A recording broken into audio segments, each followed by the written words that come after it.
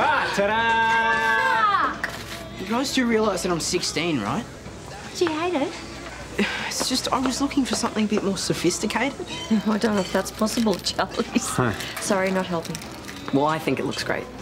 Thank you. Well, can we at least get rid of the stupid head things? I mean, come on, look at it.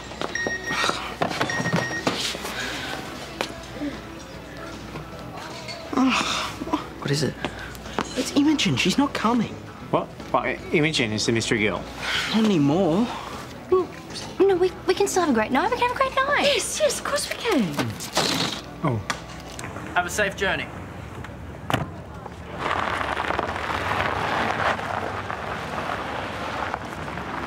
What are you doing here? Just the man I was looking for. We didn't get to finish our little chat yesterday. Anything you have to say, it'll have to wait until after work. I need another bunch of the cash by tomorrow. You send that video viral, you're not getting a cent out of me. As if you'd take that risk. Now, I'll tell you what.